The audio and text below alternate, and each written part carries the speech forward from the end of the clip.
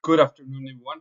My name is Nico Anzellini. I am the CEO and co-founder of Cardiost, a medical device working on a breakthrough mechanical circulatory support device, also known as a heart assist pump, for practical purposes to treat late-stage patients, late-stage heart failure patients like Mr. Funk, whose heart cannot keep up with his job, creating a traffic jam of blood in his lungs and depriving his organs of what they need to function properly.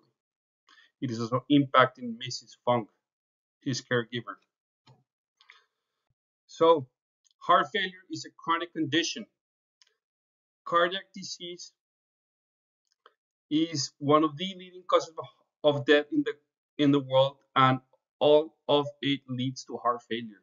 So, one in five people in this very same virtual room will ha- develop heart failure over the lifespan. Right now, there's 64 million patients diagnosed with it worldwide. 25% of those will die within one year, and 75 within five years after diagnosis.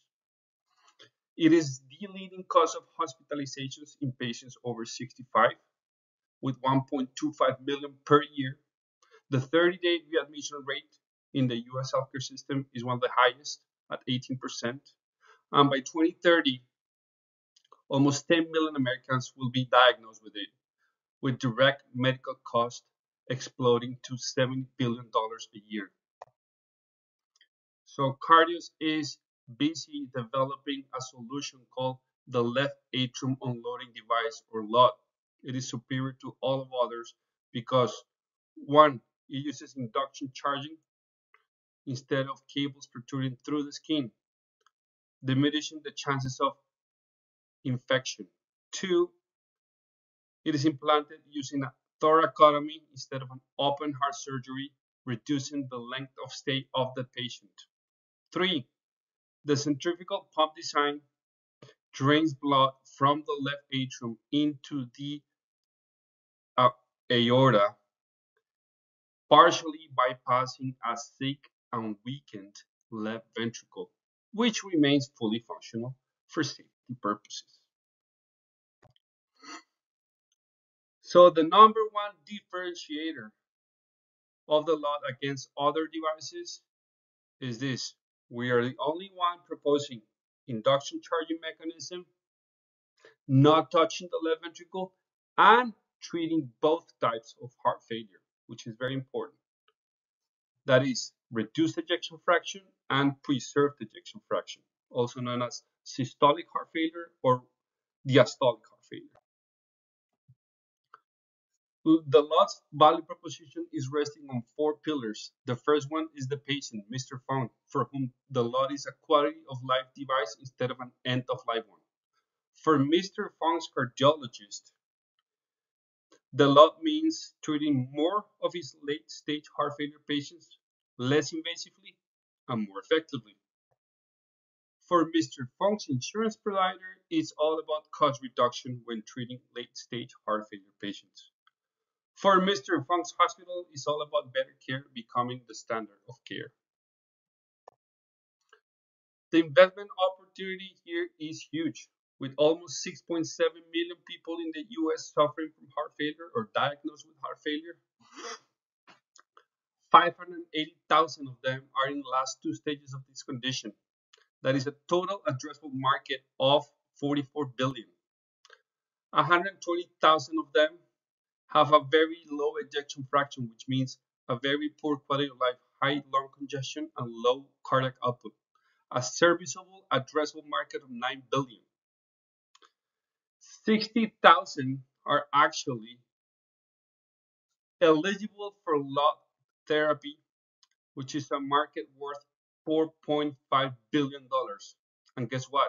Only 3,500 are implanted right now with a heart assist pump or mechanical circulatory support device.